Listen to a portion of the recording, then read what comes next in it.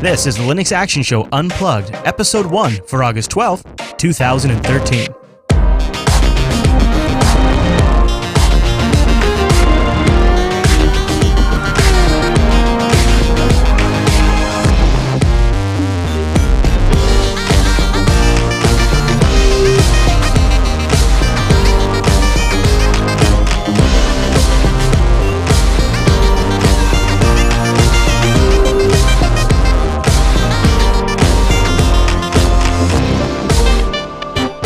Everyone. Welcome to the Linux Action Show Unplugged. It's our first episode, and that's exciting. And we're doing it on a Monday afternoon. My name is Chris. My and name is Matt. Matt. Hey, Matt. Hey there. Sorry, I didn't mean to step on you. No, that's okay. Sorry about that. So, I, uh, one thing that uh, I'm kind of looking forward to, because we never really get a chance to do it in the big show, is bring on some folks and chat with them live during the show. And we have a hangout set up, and we'll see how it works out. I'm a little concerned. We got audio troubles, but I think it's Yeah, gonna be it's good. Get- getting a little funky. It's it's learning, you know, getting used to the new timing, getting used to the whole thing. It's uh, you know, it's definitely Google Plus is being a little janky. I think what we've discovered is that the future does not lie in Hangouts for this show, but already at launch we know this probably we need to set up a Mumble server or something, Mm-hmm. and, and then we'll get like uh, people hanging out in there, and we can bring them into like rooms that are designed just for the show, and then we can kick people out when they're jerks. I like that idea. we already had like a We had, we've in just in the short time we've been on Hangouts, we've had Windows 8 users stop by. That was almost offensive, but I mean we were accept we were accepting of their choices, and we had people that didn't speak English stop by, didn't use that Linux stop by. Yeah, so Hangouts so far we're a little hit and miss, but we'll bring the we'll bring in the panel that we have assembled later in the show as we get going. Uh, but first, I want to just take a minute and uh, talk about the new show. We don't plan to do this too often, but it's kind of an opportunity to talk about ourselves a little bit. Matt and I were uh, kind of brainstorming on a couple of problems that the Linux Action Show has faced, and one has been.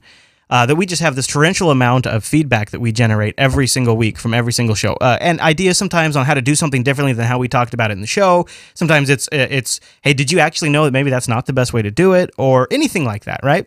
Exactly. And trying to find a way to present that in a way that wasn't going to just absolutely become a time suck. right? Yeah, because it would drag down the whole show. Exactly. And I had I had threatened for like a long time. I was like, one of these days, Matt, I'm going to make a feedback show, and all they're going to talk about is feedback. Well, that's kind of what we're doing, although that's not the show in in, its- in its entirety. That's only going to be a component of this show. Uh, you know, I mean, the feedback I think is going to generate a lot of good discussion and a lot of ideas. But I'm hoping uh, that this show is um, even more of an opportunity to kind of get down into uh, some episodes. I want to just like totally just dig into a topic, and we're just going to only talk about really just that. And you know, maybe we'll just spend an hour discussing something, just really go deep. Sometimes I want to I want to just be all over the board and just talk about uh, topics that have come up throughout the week, things that people want to bring up. Uh, you know, do panel discussions, kind of like we're going to try in this episode, and see what works. I'm pretty excited about the prospect of it. I think it's going to be interesting to see how this comes to fruition, which direction we end up taking it, and really where the uh, chat room guides us to. Yeah, and, and and what from this will kind of surface up into the big show and make that an even better show. And uh, I'm I'm looking forward to it. But uh, I wanted to start, I thought, with uh, the most classiest way, um, and that would be me complaining. what do you think, Matt? Always, always a classy, a classy approach. Right, like whenever you want to impress people with a new show, the first thing you want to do is try to offend a good subset of your potential listeners. I, that's podcaster 101. Everybody knows that. I don't know why more shows don't do this. Uh, it was actually, and I, I, I can't, I can't bear all the blame. I have to put some of the blame on James 0610 in our uh, subreddit. He he wrote, and he got me thinking. He said, "Forget the Arch challenge." I'm, I'm doing the KDE challenge. And he says, Why am I doing this? Well, back in 2006 ish, I started to debate, or I'm sorry, dabble around with Linux when I was like a kid in a sweatshop. It was, Wow. I hit a roadblock when I tried KDE. I hated it back then. It was slow. It was bad. Buggy. It was was, bad. old.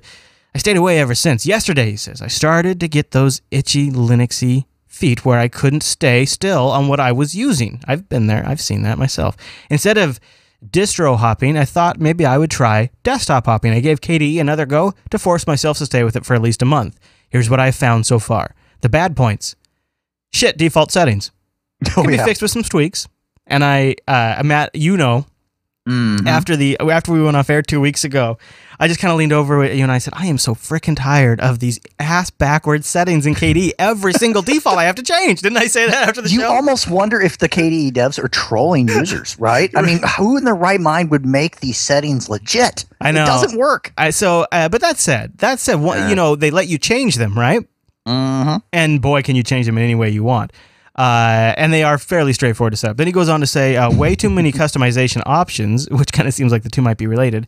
If I was jumping into Linux for the first time, uh, this would make me jump straight back to Windows. But here's some good points. KWin is a really good window manager. True. Yeah, I, I really agree with him there. He said it can look stunning with a lot of work once you get it set up. He says, am I going to stick with KDE? I don't know. I'll let you know in four weeks. Well, so here's the thing. I, you know, KDE when you massage the hell out of it, and I'm talking about deep tissue, hot rocks, you know, th- hell, throwing hot rocks at it. I mean, you basically got to stone the damn thing to make it work right. And even when you get it there, then the sound server decides, you know what? Oh, hey, you're using Pulse and you're using that phone on Oh, thing. man. So we're gonna really mix it up for you. Yeah. That's where it kills me Yeah. every time. I mean, people who were watching the uh, live stream of LAS Unplugged know that we spent about 15 minutes just monkeying around with audio settings, trying to get it to work right. Um, Like what? Yeah. yeah, yeah. There, there. So here's what I have. Here's what I have kind of come to with KDE. So uh, last week after the Linux Action Show, I got back into my home office where I edit, and once again, my audio didn't work. And I said, "Screw it!" I restarted. I logged into GNOME, and I thought for myself for about three days. Man, this is so nice. It's like I'm in the Zen garden. I wanted to go meditate on a rock, Matt. I tell you, it was beautiful. Like a Cardassian on a hot stone. I'm telling you, man. yeah, man, those Cardassians give some damn good uh, hot stone massages. That's right. uh, especially when never mind. Uh, anyway, so I, I I loved it, and then I quickly realized that KDE, while it has its lumps, isn't is is in my opinion, when you look back over the last five years of Linux desktops, is the one that's going in the right direction by the longest shot. And from a from a technology standpoint, like Qt, but also from like um, you know, an integration standpoint between all the applications. Like I just, you know, learned the other day I can right click on the volume control and switch which device a program goes to right within the mixer. Uh, there's like you, can you can middle click on the maximize button and it horizontally maximizes uh, or vertically. Um, you know, this these there's a lot of little things in here that as a power user are uh, they release dopamine in the back of my monkey brain when I I'm like, oh, someone thought of me. Someone thought of me. Oh man, that has bugged me for so long. I constantly get that sensation when I'm using. KDE. I found it to be a mixed bag. I wouldn't go quite that far, but I would say that I find it aesthetically pleasing. I love that under Arch and or and or Manjaro, when you run it, um, you don't have that weird overheating problem with the notebooks. Um, that's one thing, at least with my netbook specifically. You know, I found the desktop environments apparently matter. It's the weirdest thing. I don't know why. KDE runs cool as ice. XFCE runs like crap. Now, how can that be though? Because like KWin has but it's compositing, so it's using. Yeah, but it's the only differential. And then I said, okay, on a on a just a total crack pipe thing, I went and go, searched it just to see if I'm nuts. No, other people have experienced this. Maybe So it's like, maybe whoa, XFCE lo, lo, is um, using the CPU more for rendering, whereas uh, it must KWin be. is But using then the I go to, but then when I look at my, t- you know, I, I run a top or anything else, and it's like there's nothing weird going on. It just runs hot. It just runs hot. It's like there's nothing I can really identify. If I look at their logs, I can't figure it out. So it's the craziest thing. And you've noticed a, you've noticed a, big enough difference on. Uh, Oh, I, On well, I'm KDE. running KDE right now, and besides the fact that the sound server decided to play musical, let's make things disappear. Um, you know, other than that, it runs really ice cold. I Yeah. mean, like I could put, I could literally cool off my soda right now by putting it on top of the computer. Huh. I actually have had the opposite experience to some degree, and I think Really? I think it's because um, I'm just my GPU is getting hit a little more with KWin, but Mhm. I don't know. I was, Could be. so you know, I ended up logging out of GNOME about three days three days after the experiment started. Went back onto KDE, dropped the whole Unity setup. Said, "Nah, you know Mhm. what? I'm just gonna go taskbar on the bottom, standard setup with Conky. I you know I've got Mhm. that going now." And I'm just trying to. I figure if I just stick with the audio problems long enough, I'll either wait out problems with KDE and they'll just get it fixed, or Right. I'll become so adept at the ju- at the juggle, which I am starting to do now. Like I'm starting to be able to juggle like while I'm on air. Like oh, I get change this audio interface. Oh, unplug this USB interface, plug it in. You know, I'm starting to get the juggle down, and uh, so maybe I'll just cope with it that way. Uh, but I do. Th- I think there's also this concept um, that um, James was touching on, and maybe it's more like, more possible with Arch. But I am now kind of like maybe I'm just going to hang out on Arch for a really long time, and whenever I feel like I, I'm getting that itch, I'll just install another desktop. That's the nice thing, right? Because it's so easy to do. Just boom, done. Yeah. I wonder if that. The only thing is, is we're gonna see. Like I've got Elementary OS. I loaded it up uh, this morning on a, on an external USB hard drive, little USB drive that I'll be running 10,000 RPM USB three hard drive. that I'll be running it on for the week so we can talk about it on Sunday on the Linux Action Show.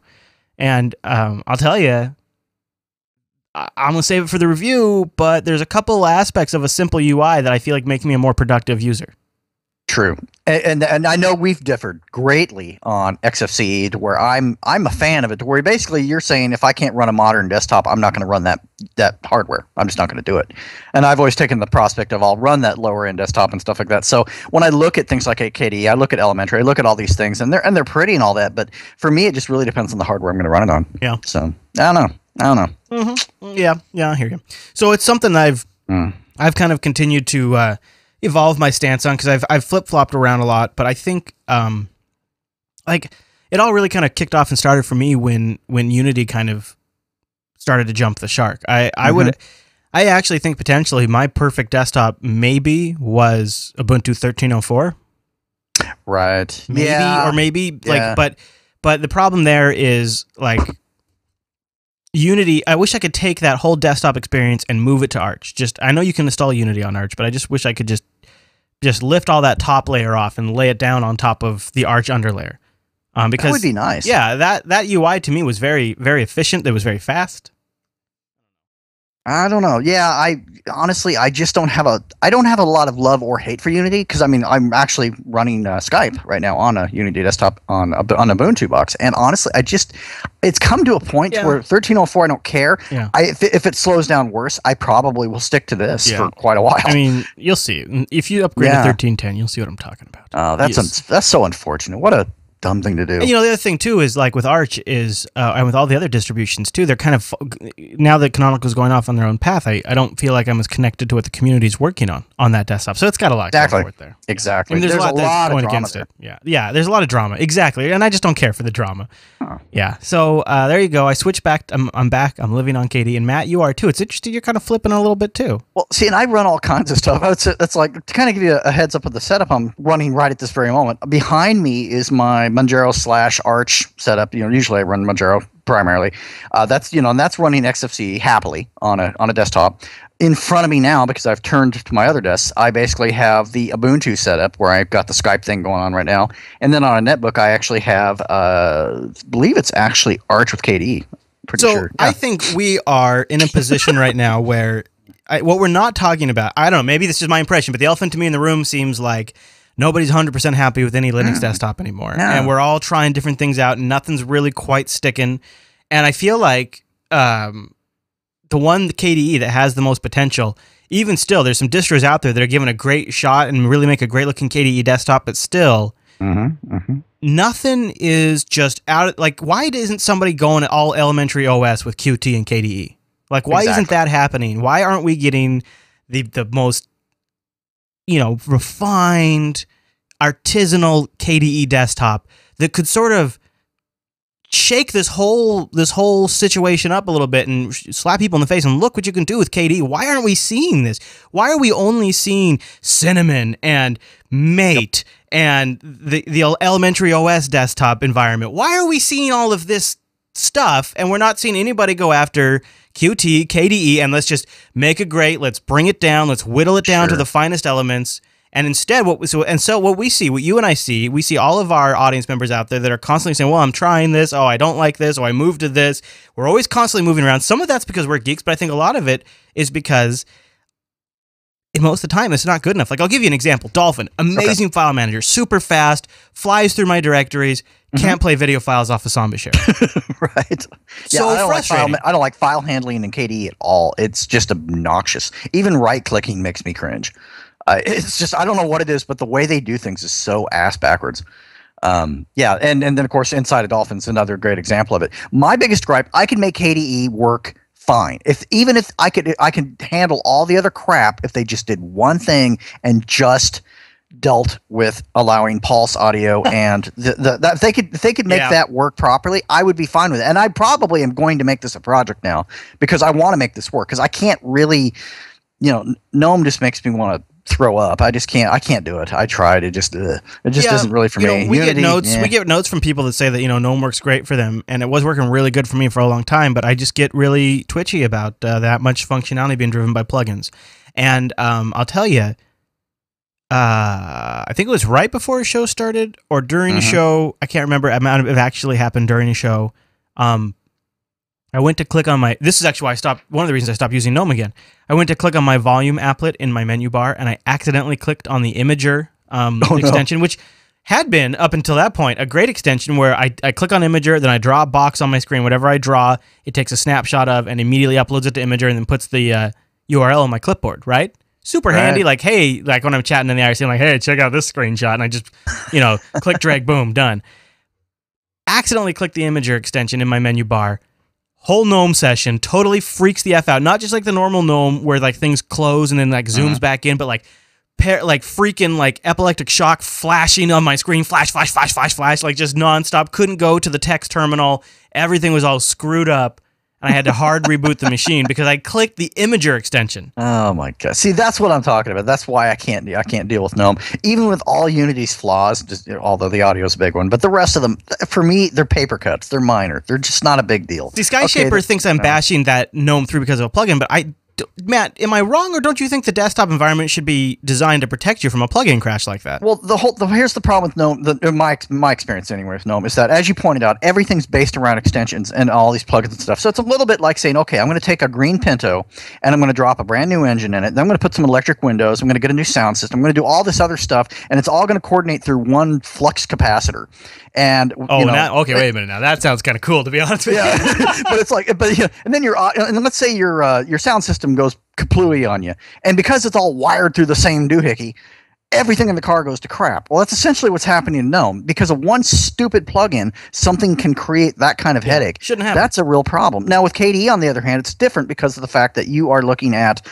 In my opinion, anyway, you know these are they're minor issues. I, uh, again, excluding audio because that's not minor. But as far as like the way it behaves and stuff like that, it's annoying, but it's not taking a crap out on me every time I click something. Yeah. Uh, you know, I don't like the usability point of it so much, eh, but you know, I can make it work.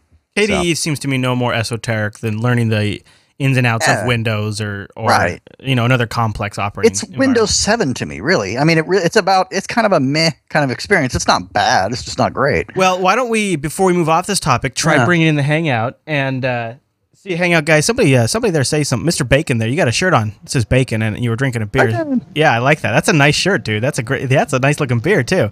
Now, is your mic on? Oh, hold on. He's gonna unmute. Ah, hey there. All right, no, I still don't hear you. I still don't hear you. But I like I like your shirt still, and he's got a whiteboard behind him too, Matt. I mean, this That's guy's cool. Yeah, he's set up He's and he's prepared. He's got a pretty swank lamp too, and I don't even know why I haven't mentioned this. Dude has a huge ass beard. That's a great looking beard, man. I love that beard. Nice. There you go. Welcome to the show. Uh oh, I had you for a second. Well, I'll, I'll open this up to the general panel. So anybody on the Hangout who has a working mic, uh, what are your thoughts on is the Linux desktop just not yet there, or are Matt and I just spinning our wheels and we just need to settle down and learn to love what we got? Anybody on there? I Well, I'm, I think the point of sorry to interrupt. Oh, I go ahead, just say your name. Of Josh Strobl uh, from from IRC.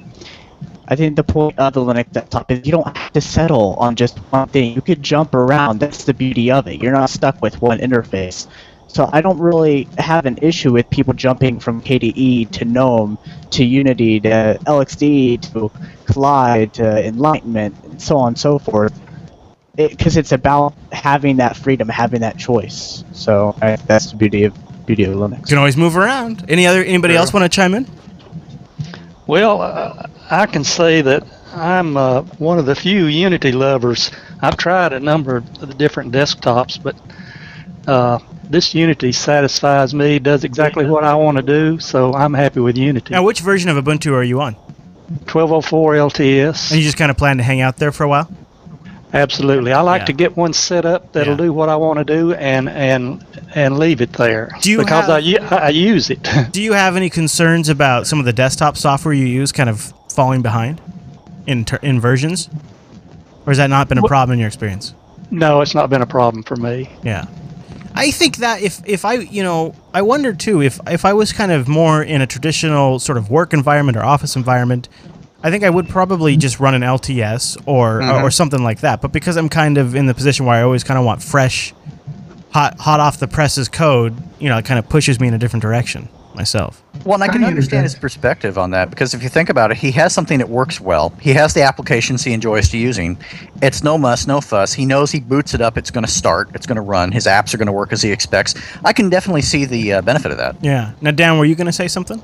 Yeah, I'm sorry. I just wanted to put a little uh, aspect on this. I mean, what was the question? Is it ready for full on mainstream or? What well, you- no, not even that. Because I, think what we're running into is even as non-mainstream users, it still seems to have it still seems to fall short as a complete inclusive solution. Like you have you, I, I constantly am seeing threads from people trying GNOME for a few weeks, trying KDE, then going to XFCE, then going to a tiling window manager. And I think to me that seems to that seems to to, to suggest that none of these desktops are fully baked. That they're not they're not solving 100% of the problems for everybody. Maybe not even 70% of the problems. And I think instead of just admitting that as Linux users, we kind of gloss over it and say, well, we have choice. Yeah, Well- we do, but um, the downside to that is you're right. We don't have an all-in-one world solution. Unity is probably one of the closer ones to that, but everybody, let's say uh, some people like to look down on the Ubuntu users. Um, but if it works for you, like uh, I forgot his name, but all the older gentleman there, great. If it works for you, there's no reason you shouldn't use it. If it's happy, True. it makes you happy, and it works. Yeah. Yeah, absolutely. But it, we need, we do need a, a slim, fast desktop environment that does have everything without having to make compromises. And I think that's what we are lacking. And so, in your opinion, KDE or GNOME or any of those haven't solved that for you? Well, I felt it with Kate, with uh, GNOME 2 um, long time ago. Yeah. I, I thought I had everything, but I was really, Yeah. really new that. But I, I didn't. I wasn't missing anything. But with KDE, I kept having to think, "Wow, crap, I'm missing out." So I went back over and over again. Yeah. Yeah. Interesting. All right. Anybody else on the hangout? Yeah, go ahead. Um, me, Michael, Oh, you're kind of cutting out, Michael. you hear me? Yeah, a little bit. Go ahead and try. Do you hear me? Yeah. Uh, I've been using Mate and Cinnamon a lot for the last year.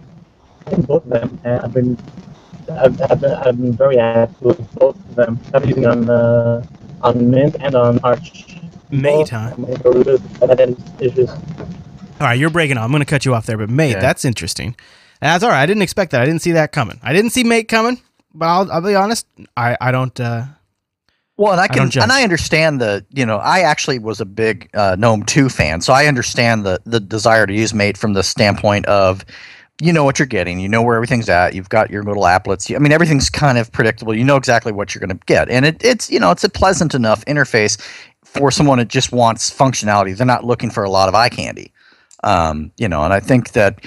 I think that certainly presents an interesting point. One thing that struck me though, as everyone was talking, that I realized that Windows users and OS 10 users, they may have an all-in-one solution. But what's interesting, if they hate something about their desktop environment, that's too bad. Yeah. With us, they become Linux users. yeah, exactly. It's totally right. That's Yeah, exactly uh, yeah. And, and so for us, we are spoiled in that we have something to complain about because we have that option. And I guess so. I and I, and I do agree with you, and I have made that argument myself. But like I said, I just don't want that to be sort of an excuse to cover up the fact that nothing's all that great. Well, I mean, yeah, I mean, KDE might have sound issues, and GNOME has extension crashing problems, and XFCE might feel like it's from the '90s, and Unity is controlled by an egomaniac.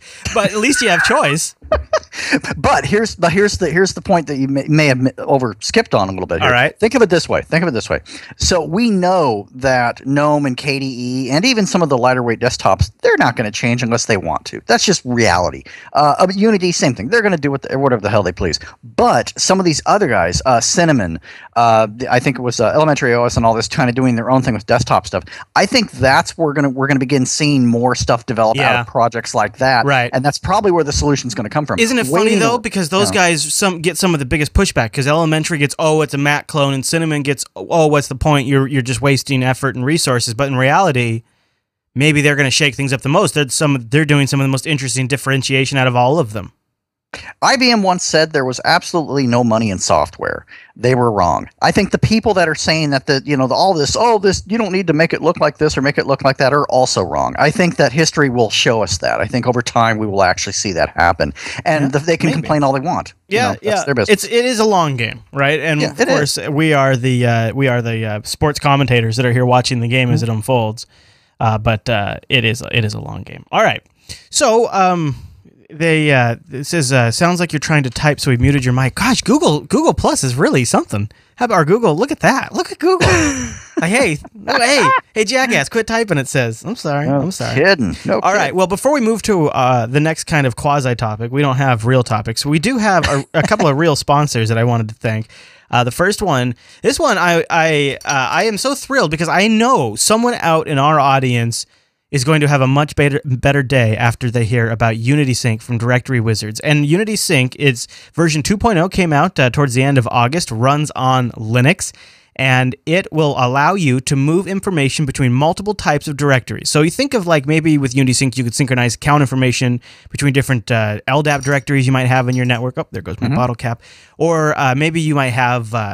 You might have something like an HR application that stores something in some crappy Microsoft SQL database, and you want to sync that out to your uh, to MySQL or to an LDAP da- uh, directory. So that way, when HR updates a phone number, that S moves over to that directory you have in in for IT. So that way, everybody's phone numbers in the on the company intranet automatically get updated. All these kinds of little things where you have data that exists in all these different directories, but nothing's been intelligent enough to move them all together. Well, on top of that, not only is Unity Sync built to do that, but it also can do things like templates. So you can say when somebody when a data with da- when data gets entered into a field doesn't match this, don't sync that, or only sync Oh, these cool. attributes of the directory. Don't sync the entire directory. Don't sync the entire tree. Just go down the tree into this particular area and grab just those attributes. This is solving that age old IT problem.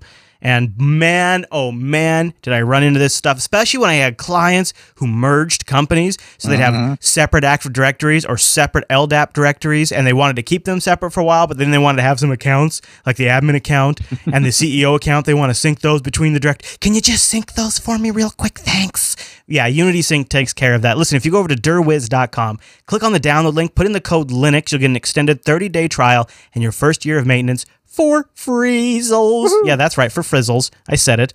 I said it. So go to dirwiz.com. And while you're over there and you're looking at Unity Sync, check out some of their customers. They have it linked on the uh, left hand side of the page. And customers include things like, oh, the Air Force Command and Control Information Systems of Canada. Wow. Yeah, yeah. Some big uh, names. Oh, uh, it go. The list goes on and on. Fiserv is in here. Um, the uh, the DOA, the DIA, the DC Court, the DC Council. Whoa. Um, the uh, the uh, there was one that was Yeah. Pentagon Telecommunications Center is in here. Omnicom is in here. Wow. Uh, the U.S. Epicenter. Army Forcecom is in here. Uh, U.S. Marine Corps is in Hmm. here. U.S. Special Operations Command is in here. We're talking enterprise grade, and it's under five megabytes. And you can get it downloaded and loaded on your Linux box in no time, and then manage it with a super easy to use web front end. Gotta love that. Go to dirwiz.com, click on Unity Sync, and put in the code Linux to grab the demo and enjoy the magic. Thanks to uh, Unity Sync for sponsoring LAS Unplugged. That's awesome. Thanks, guys. Yeah, definitely. Yeah, they heard about that. Like, dude, we want to be on that. We want to be on that. That's cool. I got one little tip that I mentioned just briefly today on Coder Radio uh, before we move on, and I, that is uh, I, I didn't talk about it on last, but I had an I had a Nexus Seven. I think I've mentioned that on the show. I've- In fact, I loaded Ubuntu uh, Touch on there one time. Well, so the the Nexus Seven is plagued by a little bug that nobody, no Google advocate ever talks about. And if this happened to the iPad, people would be up in arms about it. And it's an interesting, it's it, it is an interesting example of how the tech press doesn't ride Google the way they should for some of this stuff. So turns out Nexus 7, you let it die all the way, can't charge it. You drain the battery all the way, not going to charge. That's a problem. Yeah, That's yeah, not even cool. yeah. People drain their tablets, Matt. That happens, Oh man. Right. Yeah. I mean, who doesn't? I mean, that's the whole point. And you can't recover from that. That's- especially I when mean, you have two geez. kids, right? So the charger is initiated by software. So the charging Ugh. process doesn't start until you boot into Android, and Android says, "Yeah, start charging that battery for me." Well, if the battery doesn't, if the battery doesn't have enough charge, what happens is you boot in, even if it's plugged in, you boot into Android. Immediately, Android says, "Oh, dude, oh, dude, you got zero percent battery. Better reboot." so it goes into a shutdown process. Oh, that shutdown process has some sort of video card driver crash, and then you get static snow on the screen like you got on your old TV and then it shuts off and then it boots again and it does it all over again and it just loops and loops until the battery is so dead you can't even get it to power on. So i let my i was kind of mad at it so i let it sit for a little while. I found out if it's really really really dead what you have to do is grab the original asus power brick and the original asus usb power cord plug those in let it sit for like an hour it won't turn on it won't respond to your power button so don't even press it just let it sit for like an hour okay mm. then now this is really funny. After the after you let it sit for an hour, you pull the power cord, count for 10 seconds, then plug the power cord back in. Okay. After you've plugged the power cord back in, hold down the power button and the let's see, let's see. I think it's the down arrow, the down volume Oh area, and press yeah. Hold that until you start to see the bootloader come up. Then when the bootloader comes up, choose power off, and then it will charge while powered off. That is the stupidest design I've ever heard. it's ridiculous. I mean, that is just crazy stupid. But I was able to rescue my Nexus 7 and get uh, Well, that's good. Yeah, I mean, you know, after an encyclopedia of reading, you were able to recover something that should have been. Yeah. Able, I mean, that's oh my god. I will link to the Google article in the show notes uh, if you guys uh, run. I, I got to imagine. I mean, tablets die and kids leave them playing video games. I mean, I'm sure some Right. Angry Birds were just chewing through the battery for a while. Uh, so I, I cl- I fixed that up and then I uh, I uh, wiped it with four and you know four three stock and then I gave that to my grandpa for his 80th birthday. so now I am Nexus awesome. free. I, I was honestly I think part of the reason was because this happened to me twice. The first time I was able to get into the bootloader myself, but the the second time this letting it charge for an hour and then unplugging it for 10 seconds and then plugging it back in Mm-hmm. That was the secret magic to actually get it to work this last time. And i was just so frustrated with it. And my you know i figured my grandpa he's been wanting to play with android. He's 80 years old. You mm-hmm. got an 80 year old man saying i'd like to play with android 4.3 how do you say no to that? Oh, totally. And what a great opportunity to kind of be introduced to the whole experience. But, but yeah, that whole battery drain thing just it, it escapes me how things like that, you know, leave quality assurance, and that's that's a thumbs up. I, how does that even process? i know Do people not use their own products? I, I don't understand. It is weird. Like I've had uh, issues on on a couple. I don't. Have, I don't have, I haven't really had any weird issues on my Note two or my HTC One, but all of my previous Android devices, like all, and I've had a few, have all had weird bugs that nobody really talks about. And then when you like dig around the XDA forums, you can see like people in the know are talking about it, Right. but like nobody else is talking about. it. It's like, come on, isn't this kind of isn't this kind of like something that people should be pissed off about? I would hope so. I Yeah. w- I mean, good grief. Yeah, I think you're right. I think the press is giving them a huge pass. I think that uh, the end users are saying, "Well, you know, it's okay because Google's awesome," or they're becoming like uh, Apple users. you know? Yes, yes, exactly. you know, And, uh, maybe and maybe I don't know. maybe it's a little i don't know if it's more deserved in this case maybe but i mean we're sitting here with a google hangout going right now right? Yeah. Holy, yeah, yeah, holy. Yeah. That that, that kind of doesn't mix well. Yeah. Where it's like, yeah, I, I get I get that, but at the same time, I have a high enough expectation for usability. I mean, didn't they go out and like hire Kevin Rose to do this stuff or something? Right? I mean, wasn't he? no supposed he's to doing vc Usability? crap he's doing Oh, VC he's doing crap. VC crap. I thought he was. I thought he's working for Google doing something. no he is yeah he's doing vc he, like google has an arms uh, Hmm. google a google ventures arm Oh, okay. where they Okay. just go around giving money to people i suppose Well, he used to troll stuff for usability. I'm just saying they need to cue him in and get something going because whatever's going on isn't working. Whoever's in charge of Q and A needs to be slapped. Um, I'm just gonna put that out I kind of, I kind of want a Moto X though. I, I'm a con in the chat room. I kind of want one. Uh, all right. Well, we got an email into the show from Mike, and he said, first of all, congrats to you and Angela, the new member of the family. Thanks, Mike. I I wanted to complain a little bit about what you're saying about Ubuntu since you started using Arch. I'm a software developer and an Ubuntu user, and I use Ubuntu on my desktop without being a Linux expert. For example, during the last episode of LAS, you spent, and this is, came in on uh, July 30th, so it's a little behind. okay. Uh, for example, in the last episode of LAS, you spe- you specified Arch used systemd. I did not know what that was before I had, and I before you mentioned it, and I had to Google it. I know you prefer Arch, but what are your but what are your uh, I know you prefer Arch, but you are an experienced Linux system admin and a Linux guy. For normal users, Ubuntu is a lot easier. I, it was Windows. It was a Windows user who occasionally dual booted with Windows and Fedora, OpenSUSE, PC, Linux OS, Ubuntu, Mint, SUSE, and Ubuntu 12.04, and I'm not dual booting anymore. This is the OS I feel like can replace Windows for me, and I think it's smooth, user friendly. Uh, I watched LAS and Coder Radio for some time now, and uh, when you took the Arch challenge, I decided to try Arch 2, first in a VM, then dual booting alongside Ubuntu. And I also tried Antergos and Manjaro, and they all bombed on him. So he's back on Ubuntu.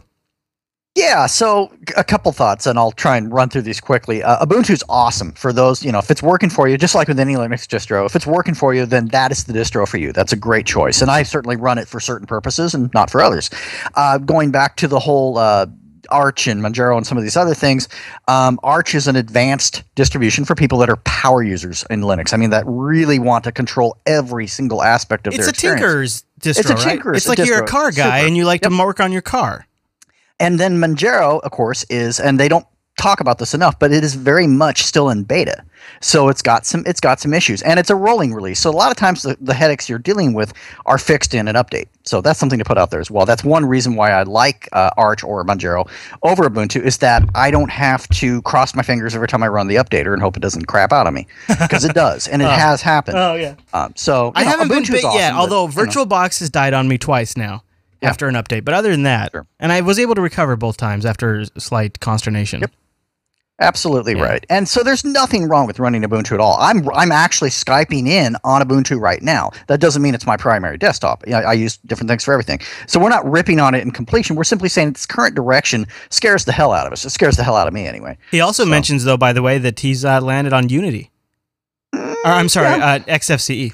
Oh, XFC. That's Yeah. a good. Okay, that's Yeah. cool. He sort of, I he- yeah. yeah, yeah, that's interesting. All right, an email came in from Tom. He said, "Hi, Chris and Matt. It's good that you cover Linux features like Mint and Zorin OS that can help ease the transition of Windows users to Linux. However, I feel something is still missing with these reviews of Linux that the majority of Windows users are scared of not having. Windows like active security and visible security. The problem is that most Windows users are used to software firewalls that prompt them to allow, deny permanent rules, or with, or every time they connect to the internet. On a standard Linux install, the firewall is off by default. Perhaps even not seeing an animated network firewall icon on the taskbar could put some off. Having antivirus software block a web page, for example, uh, that has malicious code injected into it, not only protects the Windows user, but alerts them that the site is hijacked and could siphon their credentials. This is where I think Linux needs an antivirus, and the fact that Linux doesn't need an antivirus argument fails. Can you, Chris, Matt, and the chat room suggest how to overcome the issues of easy firewall, antivirus like protection on the internet, and more visible security on Linux? I, of course, am interested in this as I dual boot, but I still find myself using Windows more than I'd like to. I suspect others are in a similar situation. Sorry for that long email. Great show. And uh, thanks for reading all of that. Uh, two things. One, no argument from me. I think that Linux users are living in la la land when it comes to uh, uh, to the belief that they're somehow protected from malware. That's absolute crap. Um, second, second thing though, yes, there are absolutely uh, antiviruses that exist currently that do a fantastic job at dealing with uh, Windows viruses on your on your Linux box. And for those new things that crop up occasionally in the Linux space as far as viruses, you know, it'll take care of that as well. As far as having the alerts and stuff, I think that would be a great idea, but that would require either a corporation getting involved or a nonprofit or maybe some sort of crowdfunding environment to create something like that to happen. We just haven't come to critical mass yet to where that's going to take place. Um, the apps already, like at the under underlying level, exist, but it's the it's the bubbling, the little bubbles and the alerts and the the Okay, let me ask you this though, know? Matt. Don't you feel like this is maybe our opportunity to break clean of this environment of fear that companies like Norton and McAfee have sustained for years on the Windows platform to essentially manipulate Windows users into being scared to buy their insurance policies? Um, yes and no. Well, no, not really. And here's why. Un- until we un- okay, so the problem is is that unless you're running something like Chrome or something that basically, you know, has I mean, you really are sure you're not going to get infected with something. Even in Linux, if it executes code, there's that potential. Most people using a computer, especially coming from the Windows space, don't have any idea what they're doing. And so you know, as far as having the alerts and stuff is concerned, a lot of people find that comforting, uh, even if it is a little delusional, much like UAC. You know, it's like, oh, that makes me feel more comfortable. Even though it's completely pointless, it does offer some comfort. Sadly, yes, some companies do take advantage of that, but I do think that security in Linux for casual users, non IT people, is terrible. And I'm going to say that again. I think if you're a non IT person that literally just jumped over from Windows, you are going to execute everything you can get your hands on because you don't know any differently. You don't know about where the packages are coming from, and you really do need something to ba- basically babysit you because people aren't wired for that. They're just not. Yeah. Um, IT people are absolutely. IT people roll their eyes and think, "God, you people are idiots." But the fact of the matter is, is I used to deal with people like this on a daily basis. Folks aren't wired for that, so they do need the option of a babysitter. But I don't think it should necessarily be enabled by default. I think when you s- install a distro, that it should prompt you: Are you a newbie or are you advanced? And then your experience is then catered accordingly. That's all I would say. All right, let's uh, let's take it to the hangout. Let's get let's Okay. give uh, uh, Chris there with the uh, epic beard uh, a chance to because he didn't have his mic working last time we went to him. Chris, is your mic working now? Oh no, hold on, still not. Man, two in a row. That's gonna be your last chance, man. That's your. yeah, you got to check that stuff with Pulse Audio somehow. It's all right. It's Uh, all right. that's It's all right. what's going on. I, anybody else on the Hangout panel want to chime in? Do you think uh, Linux needs antivirus and visible security, more visible security alerts to the user? Anybody want to And and it's a placebo. take it, Josh? Yeah, take it. I think it should have like I think Clam AV has its use, not Mm. for viruses on Linux though, but for scanning files that potentially have viruses that could be harmful to Windows, because that still could island hop over to your Windows machines. Exactly. You know, say if you're a novice. So Well, I remember we just saw we just talked about it yesterday on LAS. Uh, you have that uh, that malware that is not really interested in much on your Linux box other than what your web browser's doing, right? That's it cares about more about what Chrome and Firefox are up to. Exactly. Um, you hear me? Yeah, we hear you, Chris. Awesome. So what do you think?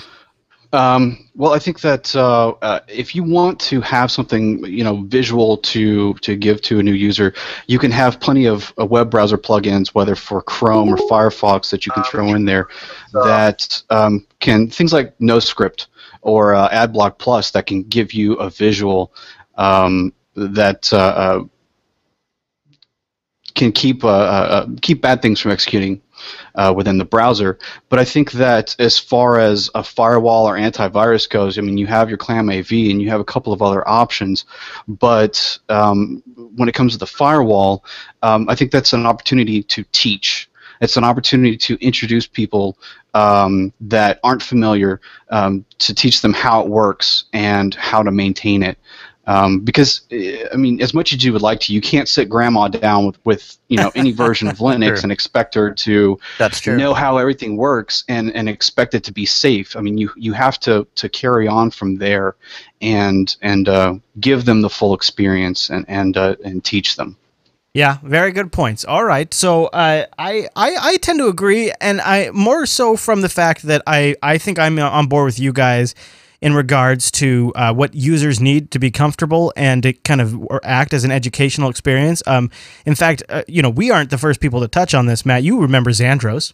Oh yeah, I actually I did a presentation uh, Linux Fest 03, I believe, uh, on Xandros, talking about the fact that, and I and one of the analogies I used is you know the screenshot you have up here, right, right giving an example, is that they understand that just because you like to eat does not mean that you like to cook. They understand that just because you like to have your oil changed does not mean that you want to sit there in the driveway with your monkey suit on and get under the car. Yeah, you're not I'm one of those guys. Yeah. I'm I'm I, I I'm like six six flavors of lazy. There's no way I have any interest in doing any of that, and I would pose the same thing to a computer. Um, so a lot of IT people have this belief that well they just need to learn. Really, what are the things that you have that you pay to have someone do for you that you're not interested in learning? Translate that. That's the point of it. Is a lot of people want are willing and happy to pay for software or other tools to do that for them Mm-hmm. stepping outside of that bubble for a minute, I would say this is an opportunity to start promoting boxes that sit outside of the computer attached to your router that, that then run this stuff for you so that it is, you know, out of the box easy. They don't have to worry about it and it's secure. So that's another option as well. But no, people don't want to learn this stuff. I, I can't tell you how many times that I hear that. It's just like, it's, you know, it's it's a novelty thought. I think even young people, um, young people know how to run smartphones. They know how to run Angry Birds. They know how to play games. They don't give a flying crap about a lot of this stuff unless they are in fact geeks or they are in fact interested in this stuff. A lot of them aren't, though. You'd be surprised. Um, good point. Good point. Sad, sad, but it's true. Yeah, no, it is. No, actually, you know, I mean, to us it seems foreign and strange, but these people have other things in their lives that they're more interested in, Mhm. and I, I can't hold the, I can't hold that against them. I deal with them every day, and some of these people are really smart individuals. That's what's you know. A lot of people. That's how a lot of us make money. is by dealing yeah, with right, these people. exactly, totally, totally, yeah. And it's and it's and it is wasteful and it is silly, but it's true. Yeah. Um, I just uh, I worry about future generations not learning. Uh, but look, here's something else that I worry about, and our next sponsor is going to help you solve a problem that is becoming more and more of a concern for a lot of us with a lot of the recent NSA revelations going on. ProXPN. Go to proxpn.com. You know what they are? They are what I think is becoming one of the up and coming premier VPN solution providers. They got all types of VPNs, great VPNs, uh, and they also use OpenVPN, which obviously I'm a huge fan of. Uh, so if you haven't thought about why you might want a VPN, obviously the first is to kind of protect your identity online. And the other would be to keep what you're doing private. Um, even though you might be VPNing to somewhere else, it might eventually get uh, monitored. It's at least one step removed. But the other thing you can That's use right. it for is to put yourself physically in another location. So maybe if you need to be over across the pond, either side of that pond, ProXPN can help you do that. And we've got a great deal for ProXPN. When you go to proxpn.com and you decide to buy, you can take 20% off the lifetime of your purchase. And I, you know, I think their base rate's only like seven bucks a month. It's, It's super crazy cheap. cheap. Yeah. Yeah, yeah. Uh, and uh, with ProXPN, you're going to get uh, unlimited anonymous IP addresses. You can have PPT connectivity. You can have OpenVPN connectivity. They've got support for mobile devices. They got customer support, unlimited data transfer, great speeds. I've been playing with it. I'm pretty dang impressed. And they also have a nice control panel. And you can just set this right up in Network Manager and then connect from your Linux box. It's really, really sweet. So go to proxpn.com. Use the code JBLive when you check out. JB Live will get you 20% off of that plan for like ever. And they have a really good Linux tutorial actually for folks that are uh, coming to it from the Linux desktop. It's uh, worth checking out. They've got uh, server locations in Singapore, London, Seattle, Dallas, Los Angeles, New York, and Amsterdam. And uh, they uh, they have uh, two tw- uh, they have five 512 bit uh, encrypted tunnels, and their encryption key is a 2048 bit encryption key. So pretty good stuff. Go to proxpn.com and use the code JBLive when you check out to get 20% for life. We've had a lot of people asking us about VPNs, and that's how I would do it. So I thought, hey, if this is how I'm going to do it, these guys should be a sponsor. That's right. Andre writes and he says on OMG Ubuntu, there's an article about the Android Touch, uh, Android lock screen getting an official, quote unquote, not official at all, um, uh, Ubuntu Touch lock screen, where you can replace the lock screen on your Android device with the Ubuntu Touch. And of course, this is stirring up some controversy. It was done by a developer over on the XDA forums, and uh, I'm looking at a picture of it right now, and it it looks like all the promo images you've seen of Ubuntu Touch running on Android. That clock with the uh, with Oh, the yeah. dots going around. Right. Yeah. Um, Hmm. and so he's asking, uh, you know, what what do we think about this kind of thing? Is this uh, is this hurting Canonical? Is this evil to rip off uh, a, a Linux company like this, or is this just uh, part of the uh, part of the way the web works now? I think it remains to be seen. I really do. I, I'm still kind of on the fence about it. Uh, lately, the, the the company as a whole has me just scratching my head as to what they're thinking. So well, no, this isn't Canonical. Did the deport? That did the port. Some other guys Oh, took it and said, oh. "I like the look of it. I'm going to make a port of it," and kind of ripped off their branding a little bit. Oh, oh, no, that's naughty. No, no, that's not good. That's Yeah. not good at all. That's Yeah. not all right. Yeah. Nope. That's, That's, kind of where I fell down too. I mean, I like it. I, I have. Mhm. I'm not going to lie. I did have it on my Nexus Seven. oh, nice. Hey, you know, you got to try it. But right? that's just because. I'm just waiting for Ubuntu Touch to finish. Uh, exactly. Deval writes and he says, Hello, Chris and Matt. I've been listening to the show for a while now. I've grown to be quite a fan of it. I would just like to say thank you for providing such a great, amazing content day after week and week after week. I don't know how you do it, to be honest. Well, thanks, Deval. Um, I do it by not pronouncing names correctly. I don't spend any That's right. time. Yeah. I would like to add that my dad finally runs Linux thanks to you guys. His ancient one gigabyte, one one gigabytes of RAM, one dot one point six gigahertz Core 2 Duo finally got messed up enough that he couldn't connect to the internet anymore.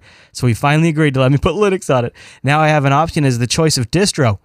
But since this is my dad and it was an old laptop, I decided to give Linux Mint 15 a try, thanks to your review of it on the show. And it looks gorgeous. It looks absolutely spectacular, and my father was completely blown away by it. Now I don't have to worry about him installing some malware toolbar.exe or anything like that on his machine. But wait, there's more. My sister came to me with a strange request the same day wanting to extract a couple of clips from a video. At first, I didn't think I had any choice, and I thought I'd have to use Windows Movie Maker. Then I remembered you guys talking about OpenShot. I quickly right. downloaded onto my sister's laptop, extracted the clips she needed uh, through X11 VNC because she asked me to do it on her computer and I wasn't there. Can't thank you guys enough for introducing me to OpenShot and more. Keep up the great show, and congratulations on the baby, Chris. That's awesome. Hey, Yeah. you know, and throw some Splashtop on that, and uh, you can do it from the comfort of your own home. Yeah, now that's you know, Splashtop might be fast enough you could actually video edit. Oh, you could. I, I've actually done it. Yeah, you totally can. Yeah, that was. Uh, I linked in the show notes. There was an article that Phoronix ran that was like they did some sort of test, and they were saying like Splashtop in some cases was. I don't know how this is possible. Actually, now that I think about it, but I think it was saying ten times faster than VNC. I, based on my experiences, I can't assign a numeric value to it, but it is it it, it was painfully faster than VNC. I'll, I'll I won't assign numbers to it, but it was v, VNC, and then going back to VNC or even TeamViewer or any of the others, it was it was very, there's definitely a difference. But VNC just it's horrible to use VNC after using uh, Splashtop. It's just horrible. Ugh. I don't know. Blech. I don't know. I feel I- dirty. I don't know. Hey Matt, do you have an experience with BT Guard? Isn't that oh, isn't that BitTorrent for, guard? Uh, BitTorrent, no, Yeah, don't. that- uh, yeah, don't. don't that's do not a that. Um, VPN solution. That's that's it for, is well. Isn't that for just making sure you don't uh, VPN yeah. from the wrong? P- or, I something mean, that worked really well for about a year. Um, no, it's not something that is really considered to be a secure. It's a little bit kind of the they're dealing with some of the. Uh, yeah, I would avoid it personally. I, I haven't had good experiences uh, that I've heard about it, but I've not used it personally, so Yeah. I can't speak. But yeah, I wouldn't. Uh, Google around about B, uh, BT Guard problems, B, BT Guard security, and then come to your own conclusion. So Uh, Hangout, I want to toss to you guys real quick. Anybody in there uh, play with Splashtop or any other remote desktop solutions that you think are worth people checking Yeah. out? Anybody had any experience with those? No, everybody's shaking their head no. Oh, well, man, all right. let's check that out. Yeah, yeah. I, I thought Splashtop was pretty great. Oh, you'll yeah, it, it'll change the way you use your computer. You will literally like all the stuff that you need to have your just you know when you're doing just like mild mouse access for that you have to come upstairs to do or go to another room to do. You'll be doing this from your recliner from now on. I'm telling you. Absolutely, and uh, yes, TeamViewer is also a really good one. But I found that the performance is a wee bit better with the Splashtop. So All right, Garrett writes in. He says, Hi, Chris and Matt, long viewer of the show. I try to catch it every episode. Congrats on the new kid. I've heard you say you do all your editing on the Bonobo. Uh, I would hope that, that means under Linux, he says. If it is, what programs do you use for editing? I've been unable to find many good programs for video editing under Linux. So, Gary, you have some back episodes to go catch up on, my friend. Uh, I do the, I could edit audio on the Bonobo. I can do the soundboard from the Bonobo. So, like, if, uh, if we were sitting around here and uh, all of a sudden, um, I decided like, uh, oh crap, you know, th- uh, I th- hey, I think that's Anderson Cooper. Oh my gosh, it's Anderson Cooper, everybody! Something like that is driven from a Linux box uh, right now in the studio. But the video editing is hap- is happening on on the Final Cut on the on the Apple's Final Cut. I, I was thinking though possibly about this show might be our 1st regular show that I edit fully under the uh, GNU slash Linux. wow, I don't that'd know. be kind of cool. Yeah, I don't right? know. I mean, OpenShot I guess would probably be the way to go. Um, yes, I'd say OpenShot's good. Although KDE, well, it depends on what you're really doing as far as transitions and stuff. Um, yes, I'm going to say open shot probably is an option, but you might want to try the uh, K, uh, Kdenlive. Go go that route for especially running a KDE. desktop. Whoa, Fox News alert. that comes in with Nice. Katie and Live. I had Yes. that was for the chat room. All right, Chris. Uh, here, this one comes from Cody. Hi, uh, there, uh, Chris and Matt. Great show. Been watching since uh, shortly before Brian left, and boy, has it gotten good. Anyway, I was wondering if I could get your input on something. I have a Raspberry Pi set up in my house as a combined NAS and DLNA media server with one terabyte of external hard drive attached via USB. I'm looking to restrict the NAS port to uh, where only I uh, to okay. I'm looking to restrict the NAS port only I had to select other few people could access it from Windows and access it at the same time. As I'm the only Linux user in the house, so which is easier to set up a kind of Raspbian, ITS, or something? Boy, this is getting clunky. But what I think he's saying is he wants to set up a NAS server and only give certain people access. Um, and he says, "Congrats on the baby." uh, so uh, C. Smith, Cody, what? Here's what I would say. Uh, yeah, so he asked if Samba would be the right way to go. If you've got Raspbian already loaded on your Raspberry Pi, then you can start Samba, and then there is a command called SMB password, and you Oh, do yes. SMB password dash E, and then the Linux user that you want to have access, and you could just enable just those users. So you could enable your account and your buddy's account, but not the other people's account in your house, right? Stuff, good stuff. Lazarus asked, "Whatever happened to Lightworks?" Uh, It's well, first of all, I can't get it running on Arch. Yeah, it it's still so long out, and I, uh, I I'm you know honestly I'm holding out for what OpenShot plans on doing over time. I think that's probably in the in the long stretch is probably where it's going to come out winning. Um, although Kdenlive's been kind of my go-to thing here lately, just because it does have more. It has uh, additional functions that are useful to me. Oh yeah, But uh, you know, but OpenShot's really cool if you want the Blender functionality, things like that. But I think long term, I think OpenShot will be the winner as they begin plugging in all the work that he's been putting Yeah, into it. man, that's what I was thinking. It's Yeah. like might as well get on board with that now. Yeah. Uh, although I'll be honest, the one advantage that Lightworks, I th- and I don't know if OpenShot does this. It depends on if it just uses FFmpeg, but um, I record stuff in that crazy ass ProRes format, and Well, see, and that all this stuff is, and, and maybe this too. I'm not sure about that specifically, but all this stuff as it, as they he's completely retooling OpenShot. I mean, like totally from the ground up. Everything, Yeah. everything's different. And so as that becomes to come about, Yeah, in fact, I he's think trying I to make it more pro level. I think I think I'm trying to find his uh, Kickstarter page right now, but I don't see. I think I remember him saying. he just did an update on his uh, Facebook page. I don't know if it's uh, Yeah, he's I- sending out all the goodies I think now. I remember they are working on that, so uh, that would be that would be interesting. Um, all right, so we got. Oh, I think this will be our last email. At the point, there's still. Um, let's see if I tab over to the Linux box. How, how do I? How do you? Thunderbird doesn't. Oh yeah, here we go. Hundred. There's still 189 unread emails. Wow. And that I didn't even open up BitMessage. I've been I've been replying to BitMessages this morning. Mm-hmm. Um, in fact, uh, speaking of that, that fits in well with our next email uh, from Sam. He says, uh, "Hi, Chris and Matt. In one of your shows, Chris said that he doesn't watch much television anymore. Instead, he subscribes to podcasts. I like the idea since I don't watch television either, so I started looking for interesting podcasts, not necessarily Linux specific, but I really didn't find anything worth listening to. So, would Chris mind sharing a list of the podcasts with us? That's a great idea. This this floats around a lot for me because I'm I, I browse around to see what other folks have up their sleeves. Um, but that's where uh, one. So I'll start with one podcast that I listen to every every Sunday after LAS. Um, after LAS is done, after it's published, after I've put the family to bed, I break out a beer and I listen to a little No Agenda with Adam Curry and John C. Dvorak. Um, and uh, they, Adam Curry, was experimenting with BitMessage this morning. So I've been corresponding with Adam Curry this morning over BitMessage, which was fun.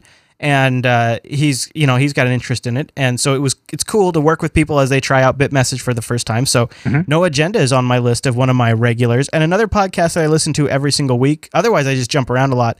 Uh, is Mission Log, a Roddenberry Star Trek podcast, where uh, they're going in chronological air date of the Star Nice. Trek shows, starting with the original series, working all the way up to uh, the uh, end of Enterprise. And uh, they just did uh, an episode 53, The Ultimate Computer, where M5. Um, did- oh yes, I remember that. yeah, yeah, Yeah. M5 comes on board and they, they plug in M5 and he takes over the Enterprise and and then chaos ensues. Uh, so I I really enjoy that podcast. So that's one I listen to regularly. But th- I really those there's another one I listen to on occasion. Uh, this week in Trek. Um, you can tell I'm kind of been in a Star Trek kick lately. I'll also I'll also occasionally listen to This American Life uh, and Radio Lab, but not too often. Um, and then otherwise, I just kind of shop. What about you, Matt? Do you have any podcasts you listen to on a Um, regular not basis? Not really so much anymore. I used to listen to a lot of the uh, some of the twi- uh, Twit Network stuff, you know, off and on. Oh yeah, Uh, yeah. I'll tune into their live streams sometimes. Yep. Sure. Yep. Um, I, I'm a buddy of uh, Lamarr Wilson, so I of course listened to all his stuff and or actually rather view it, and uh, so I watched that. Um, that's really you know I don't watch uh, as many podcasts as I used to. I'm just you know so caught up in my usual day to day stuff. So I'm either out doing something or I'm or I'm Ah, watching. you got caught with the TV Netflix show plague. stuff, I understand. You got the Netflix plague. Yeah, I got the I got Plex. What do you want? I know, right? How great has Plex been? Plex has really been awesome. Yeah, you Yeah. know, Yeah. yeah. So I've been I've been catching a lot of pretty some some pretty good shows. So. Uh, I I think out of um, all of the sort of you know a lot of the stuff we do in these segments are like Chris is solving a problem in his house and now he's going to talk about it, or Chris solved a problem for a client now he's going to. I mean, that's honestly where like a lot of the topics come from. True. Oh, and it is. Plex was like, oh man, I I want to just like.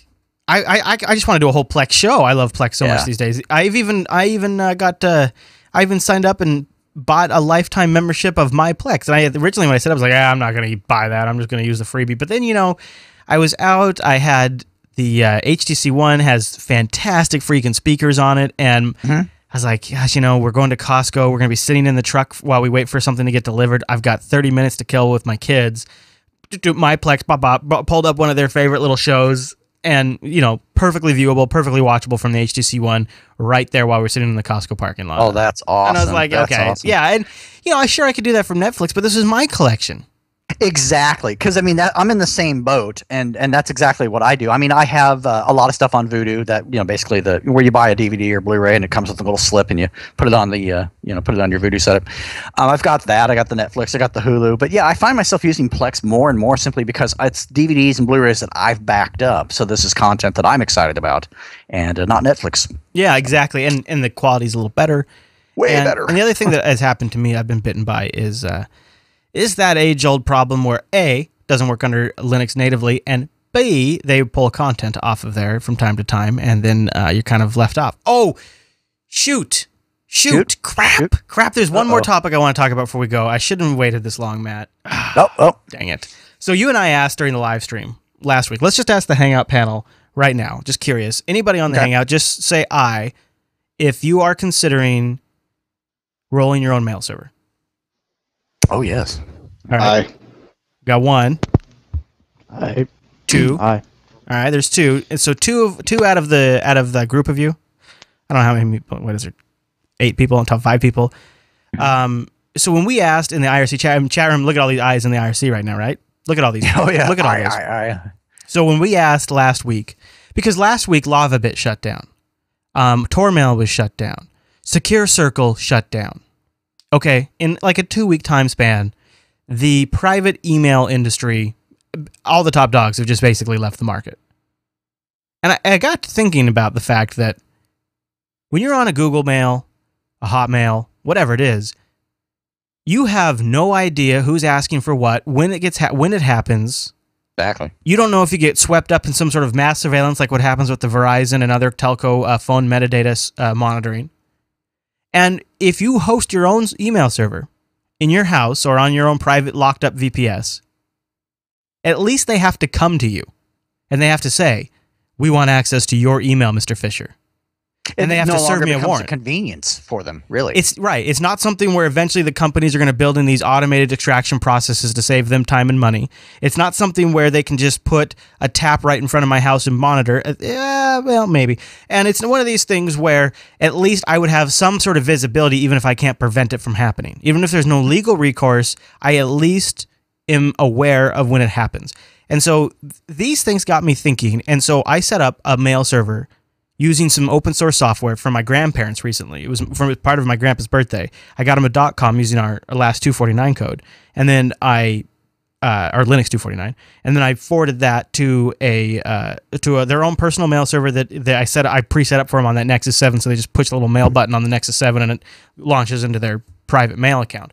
Um, and because they were on MSN for years, since MSN was a dial-up service back in the day when it competed with AOL, I, I said, "Okay, grandma, grandpa, let's get you off MSN. Let's get you on, you know." And I, we have a good in-family joke URL that we use that everybody thought was really great and had a good laugh at. And I, I set all this up, and I thought, yeah, maybe I should do this for myself. I'm getting emails from people outside the United States all the time. Who knows what the hell they want to talk to me about? Who knows what the hell's going to be in that email? Who knows what list they might be on when I'm responding back to them? And so I've been thinking about this a little bit, but I don't like the idea of having a mail server in my house. It's a pain in the ass. oh yeah, it doesn't. It doesn't. At least at first pass, it doesn't seem very practical. I mean, when you first think about it. Here's what I think. Here's what here's the sort of like thing that gnaws at me. Is it's one of those things where it's hard to quantify a reason to do it today fully. Oh yeah, man, maybe the NSA is going to monitor my shit, but I don't care. I'm not saying anything. I don't care. It's not like I'm all that important. But the reality, it, to me, seems like so. There was this. Now we're getting down to the conspiracy range, but the, uh, there was this story that ran this week that the NSA plans to reduce their system administration staff by ninety percent and automate the majority of the uh, task automation. That seems obvious. Of course, that's going to happen, right? Sure. And so, so they do this task automation. They're gonna they're gonna automate all of this uh, data analysis, and pretty soon it's just gonna be computers looking at this stuff, indexing, storing information, and it's gonna be every now and then a one's gonna go in this database for, for so. Matt likes cats. Well, let's put a one in that. Put a put a one in that field. All right. Matt likes burgers. Put a one in that field. And over twenty years, they're gonna have all of this information about you that you have no say in opting out of that system. And Exactly. you get all of you're going to have all of these weird things that'll happen. You'll have profiling that happens, you'll have analysis that happens, you'll have assumptions that are made based on you contributing 20, 30, whatever it's going to be years, 10 years of information into the system. And at that point when that arrives, you'll look back and go, "Well, shit. Maybe I should have done something about that back early when I found out about this shit was going on. I knew it was a bad idea all along. I knew this was going to happen, but I never did anything, and now it's too late." And to They quantify this, and for people that are thinking, "Oh my gosh, this sounds like unfiltered stuff," because I understand that at first pass it does. Let me put this into something we all experience: junk mail, mailing lists, and catalogs for really weird stuff. Okay, this is an example of being thrown into that kind of bucket on a very, you know, platonic, Uh, it's- you know casual scale. Uh, don't try to appease though. People that say this unfiltered stuff are just morons that aren't appreciating the situation of the, that we're in. And Well, you know I'm not what? trying to appease them. I'm trying to is help people process this that is like one of those things We're not wired to, yeah. Open source think that way. Linux software. It's here to help us with all of this. Let's not let's not hide from it. Let's embrace the fact that this is a new calling for open source software. This is a new need that open source software can solve, and I think we should embrace that fact. I think it's worth and it's celebrating that aspect of it. That thankfully we've all been sitting here championing a platform and a methodology and a theology that in the long run is going to protect us from an oppressive government, at least at the technological level. And I don't think we should shy away from that. I don't. It's stu- It it it's it demeans. It's it's reductive of the overall issue to say, oh well, who that's unfiltered related. Ah, come on, screw those guys. Well, I'm not even trying to appease them. A lot of times when people feel that way, it's a defensive mechanism because we're taught to not question things. That's and if true. we want to get we want to get more people to to you know actually rationally think about things. It's not about appeasing them. It's helping them to see something in a new way. Yeah. Um, you know, maybe it's like someone trying Linux for the first time. Well, I've heard that's stupid because I heard it was this and I heard it with that. But by getting them to actually quantify it in something they can relate to, it's like, oh, well, okay, well that makes sense to me. So by using that catalog example, that is an example of how that Oh, yeah. does happen. I see what you're Transferring saying. it back over, factually, it will happen. You will end up in a list that you don't want to be on. That's that's reality. When you when this all this server harvesting garbage goes on, it will happen. Next thing you know, you're going to be on a list for I like to, uh, you know, explode cats or something because you looked up, you know, uh, explode. you have explosive diarrhea on one What was I- and you have and you love cats on the other, and that gets intermixed. Things happen. There was something I was looking for just last week for Unfiltered, Right. and um, I, uh, I, I, I, uh, I, I opened up the tab, and of course, you know, in Chrome, you just start, you just start typing, and it, it starts Google, and I started typing out, and I said, "This is a DuckDuckGo search," and it was like, um, I don't know, I don't remember what it was, but it was hmm. like one of those things where I was like, I don't really want a log of this. And you- right. you know what's funny? To show you why the system and there's so if you remove all conspiracy from it, Sure. Eh, you're just gonna have a system that just doesn't work anyways. Like I'll give you an example right now. If I pull out my HTC One and I look at my Google Now screen, Yeah. Google Now is giving me driving directions to the nearest Walmart. I, Matt, I, I don't go to Walmart, but during Coder Radio today, Michael said the phrase Walmartification, and I Google searched. I Google searched Walmartification just to get the spelling of it because I wanted I thought it'd be a great title suggestion. Because I Google searched Walmartification, apparently Google now thinks I'm a Walmart shopper and is preventing me or is presenting me a Google Now card with driving directions to the nearest Walmarts. And this is just I don't want to be in the system as a Walmart user. I forget the video. There was a really awesome video that talked about the danger of Google having some of the power that it does, and it was a guy that was calling up to check on the status of something he'd ordered, and it was I think it was like a new pair of pants or something. And He's like, "Well, according to our records, you know, you've been to the doctor recently because of your blood pressure, and oh, you, you- your weight's kind of Right. going up there. We need to look into that." Oh no, he's ordering a pizza. That's what it was. He was Yeah, ordering a yeah. pizza, and it went through his medical history and all this other stuff because it was just readily available. You know, that kind of environment, that kind of world isn't really that unlikely to be that far off, and it's Yeah. kind of scary.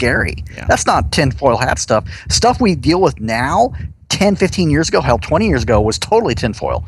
We're here we are, you know, so that's kind of how I see it. I would leave you with this final thought too: is like Yeah. if you like the ability of running your own email server, if you like the idea of having your own file mm-hmm. server, if you like that, then it is worth being a, a user of that just to encourage those developers to continue on.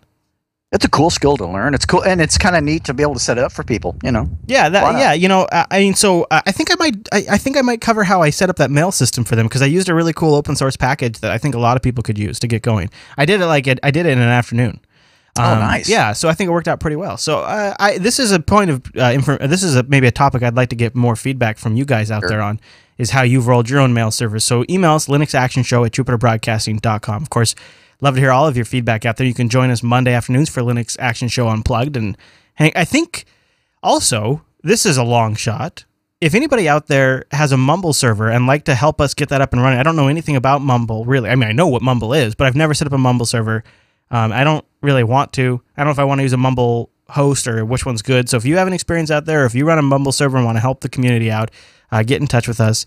Just email me uh, or uh, the show, Chris at JupiterBroadcasting.com and Linux Action Show at JupiterBroadcasting.com. I wanted to uh, give a special plug. I, I'll put the link in the chat room right now. Professor Messer, Professor Messer. I think is how you say his last name. It's a YouTube Okay. channel. Yeah, I know.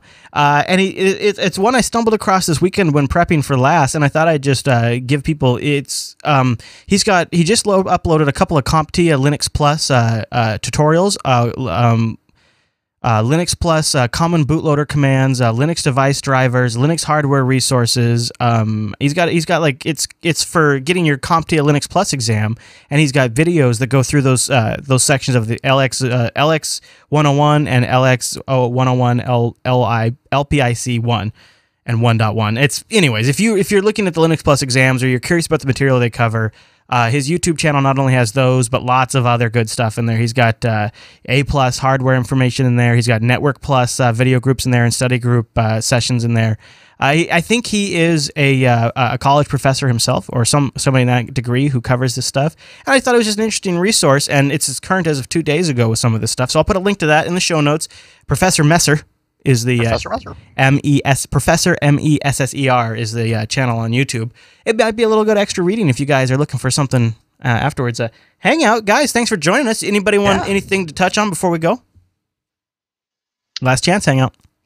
I'm done. All right, Don. Well, thanks for joining us. It was good to see you. I'll see you again. All right, very good. Uh, Chris, uh, wonderful beard, and Josh, uh, thanks for chatting with us, guys. It was good to see from you, and everybody else who didn't speak up. Thanks for joining us, you guys. You're a good panel. Right, I'm going to hang up on you guys now. There you go. All right, Matt. Well, I think that'll wrap up uh, the first episode of LAS Unplugged. Still in, still in beta. We'll be working out the format. So, of course, really, any any any input you guys have and things you want to see from the show, just let us know. We're we're it's very early in the massaging process. Lots of lots of possibilities still, and we'd love to get more of your input, especially as, as we get like to a Mumble server or something like that. You guys can join us regularly and hang out in there and talk with us. So I think that'll be a lot of fun. Don't forget, we want your feedback. Linux Action Show at JupiterBroadcasting.com, or if you use that contact link at the top of our site. Just for you guys, just for this show. Well, really, everybody gets it now, but I did it because of the show. I added a subject line. Huh? Subject Nice. line, Matt. How about that? Nice. I like it. I like the format. I think it's going to work out really well. Absolutely. All right, everyone. Thanks so much. We'll see you on Sunday for the big show. See you back here next Monday.